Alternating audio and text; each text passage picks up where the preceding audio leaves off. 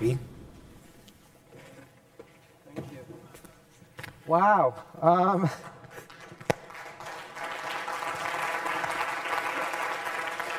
um, the, the guy who followed Wade had a hard act to follow. Um, what a hard set of acts to follow. It was interesting that we're put together because, among other things, we have something to do with technology or science. Um, a thing that Moses didn't say is that with Nico, um, all of us are better or worse musicians. I think I'm the worst musician of um, those, those of us who are speaking today um, in this session. Um, and um, we're also all Americans, which um, and I, I could give a much less articulate version of the talk that was just given. Um, I think as a scientist um, who does a lot of public speaking, um, some people come to hear us because they want to be wowed about science. And I have done that talk many times with different subjects of the research that I've done. I work on the question of what is space, what is time? Um, what is the history of the universe? Where did it come from? What is matter? How do things move? How do we understand how things move? Um, Nico said that the key question that makes people artists and musicians that they respond to is what is our place in the world?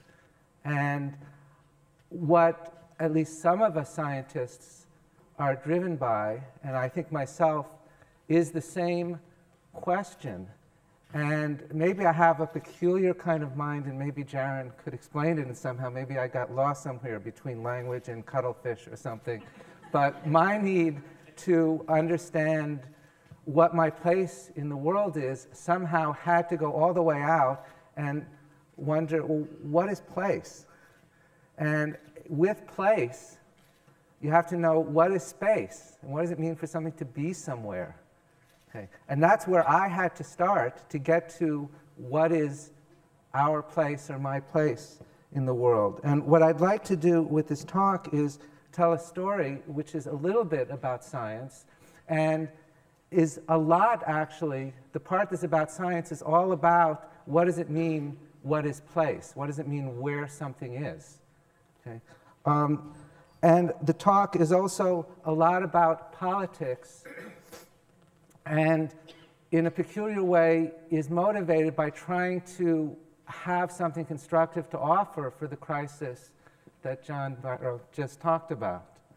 Um, and that is what is democracy, which I think is a problem that we are, many of us are thinking about and should be thinking about now. Um, now, the moral of my talk is that to think about what is democracy you have to think about not just what is our place in the universe, but what is place and what is space.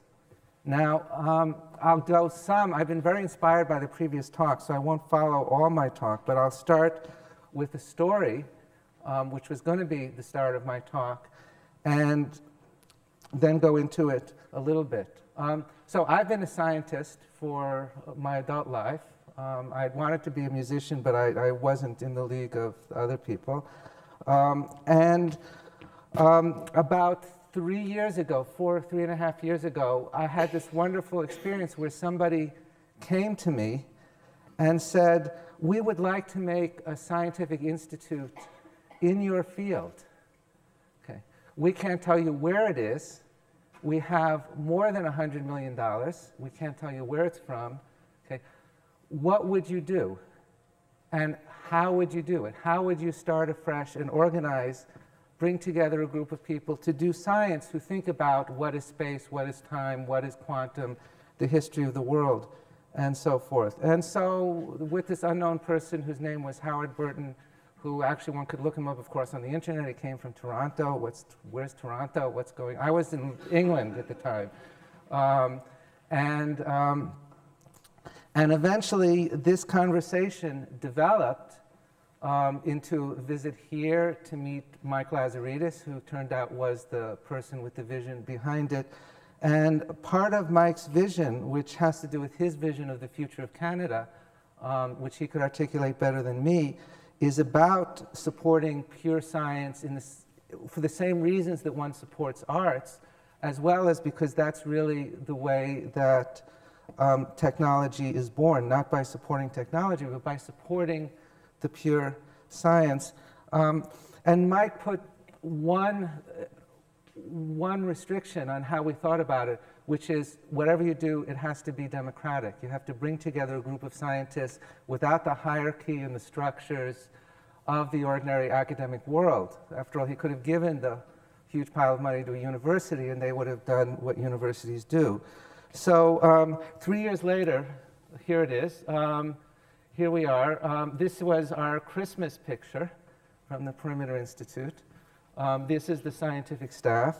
And, um, and we have had an absolutely wonderful, I've never had so much fun, so much exhilaration, so much challenge in bringing together a group of people to do science. And here is, I hope this works, here is some of the questions. And I'm sorry, I'm an academic. So there are words there and there are words here, and I can't flash my chromatophores. Okay. but you don't have to read them if you don't want to.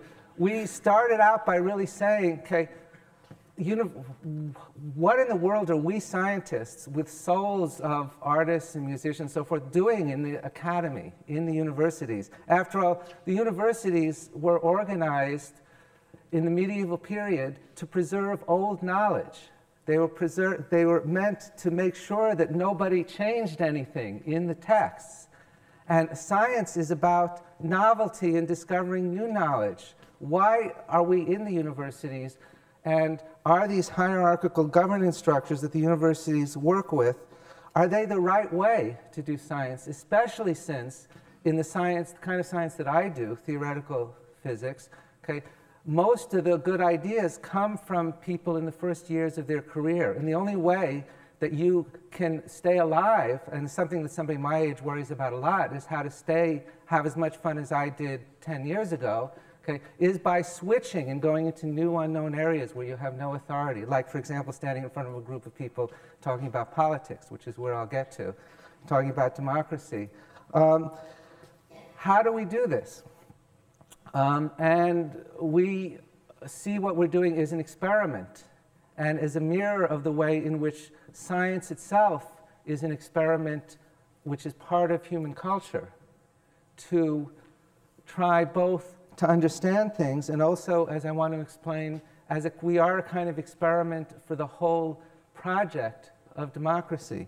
Now, thinking about how to organize ourselves as scientists with no ground rules, just a lot of resources, led us to go to the back and ask, okay, how does science work? What is science and how does it work and why is it worth doing? Okay? Now, there one runs into a funny thing, which is that there's, of course, an official literature about what science is and why it works, published by official philosophers who have titles about being philosophers of science. And I knew something about that because of a little bit of a misspent youth. And, um, and here is 20th century philosophy of science in one minute. Um, the, which is the following, which started out with people saying there must be a scientific method, there must be a method to what those people do. Um, and by the way, Wade, I really think what we do is the same thing as your shamans back there with the plants are out there, but that's a discussion we could have.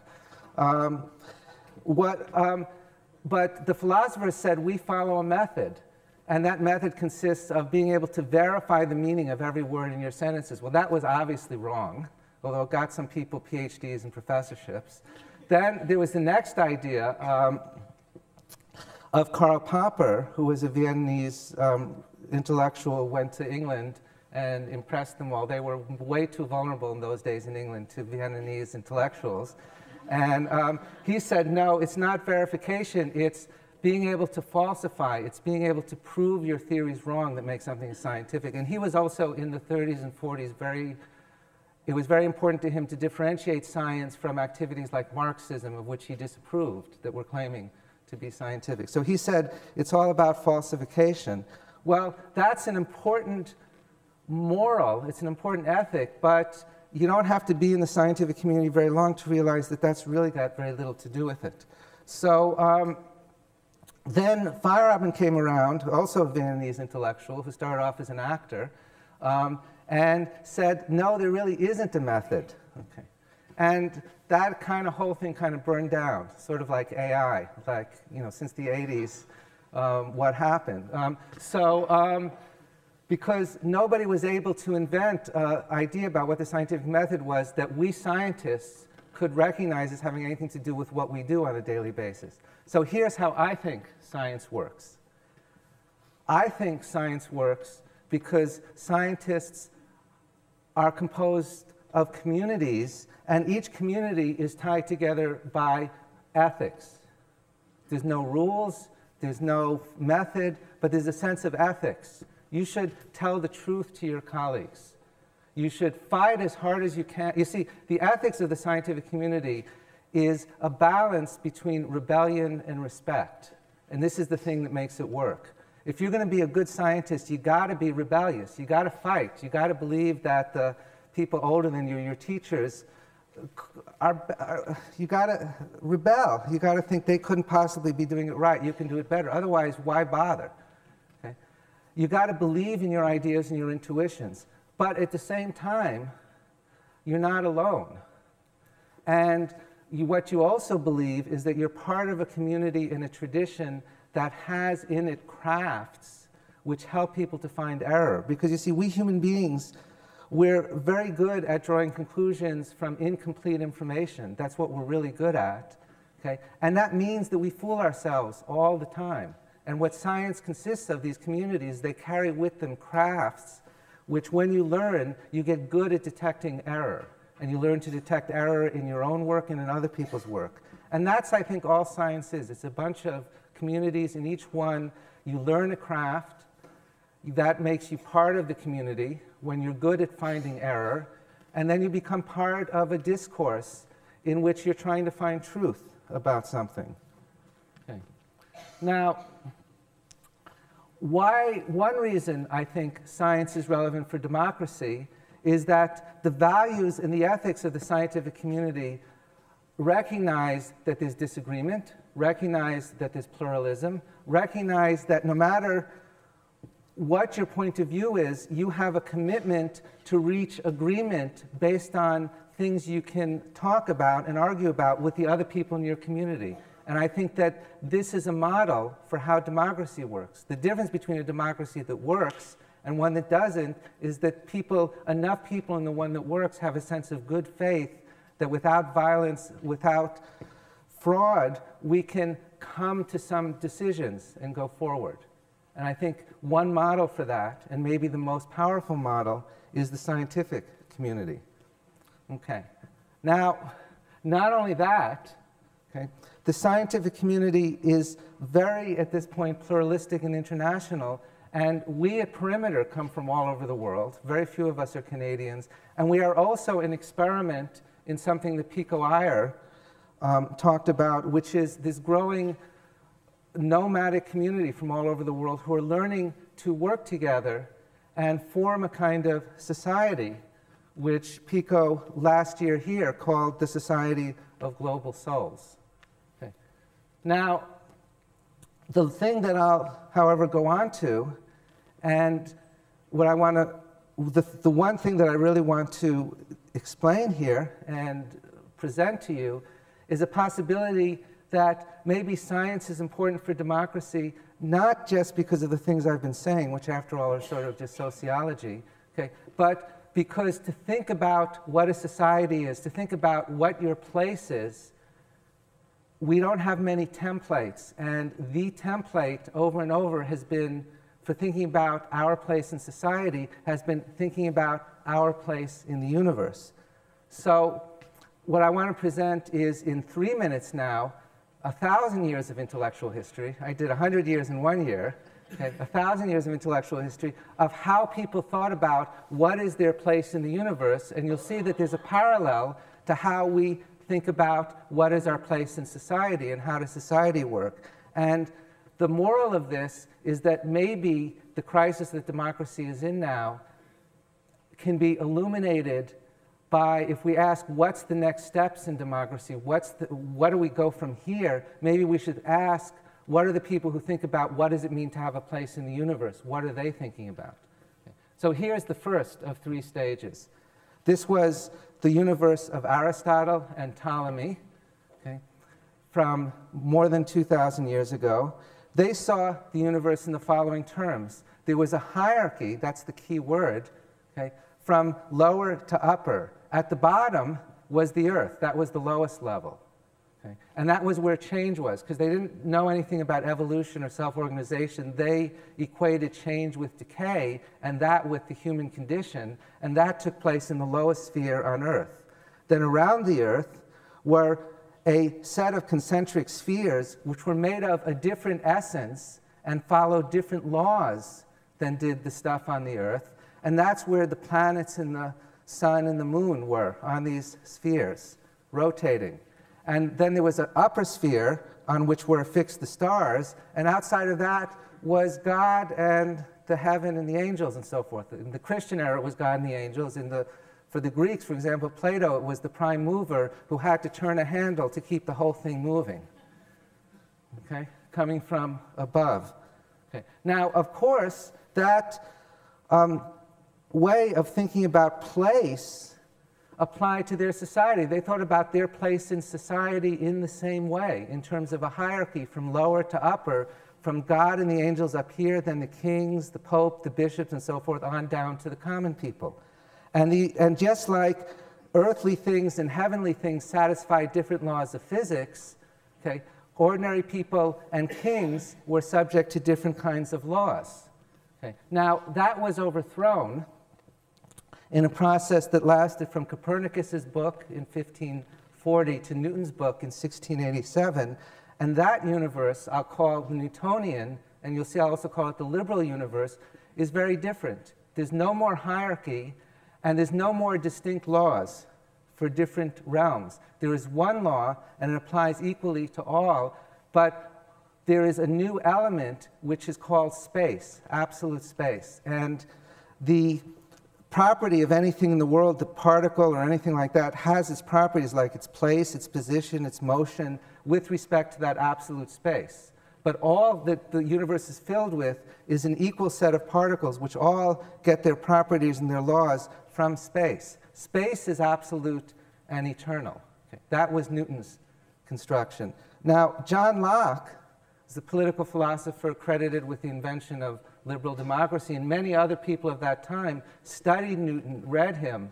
They also knew him. John Locke and Newton were friends. And they invented a society in which there was one law that applied to all, in which individuals were like atoms. They got their rights, the notions of justice, with respect to some absolute unchanging background of what was the rights, what was a notion of justice, not with respect to each other their notion of society was the same, whether there was one person in it or a billion people in it, just like the Newtonian physics would apply the same to a universe with one atom in it or trillions of atoms in it. And that was the Newtonian universe. Everything, there's no more hierarchy, but everything depends for its definition, its rights, its properties, on its relation to some unchanging absolute. Now, that was overthrown in the beginning of the 20th century with relativity and quantum mechanics. And relativity and quantum mechanics are based on a different vision. And I'll end by telling you what this different vision is, because it is the intellectual universe that we scientists live in now.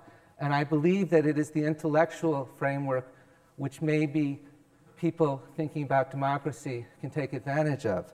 And that is, there is no longer your sense of place is not in relation to something absolute and eternal.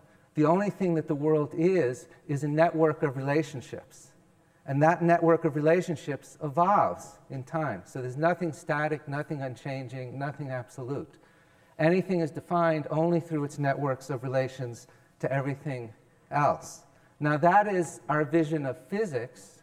Okay? That is the idea behind relativity theory, in a certain sense, behind quantum theory, the whole, all the scientific work I've been involved with, the quantum theory of gravity, has to do with instantiating that vision, and we have completely instantiated that vision. We live in a world which consists of nothing but networks of relations which evolve. Okay. Now, I'm just coming on to the end. Okay, I'm not a politician, I'm not a social theorist, I'm not even a musician.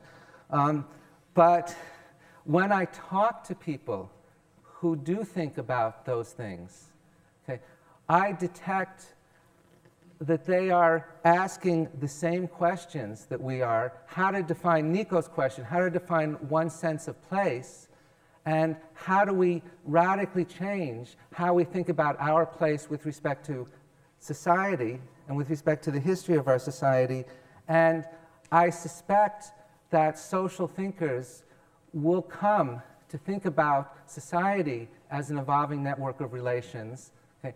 And I hope that such a view, because it's pluralistic, because it's truly democratic in the 20th century sense rather than the 18th century sense, will, will give us a way out of the dilemmas and crises that we have. So thank you very much.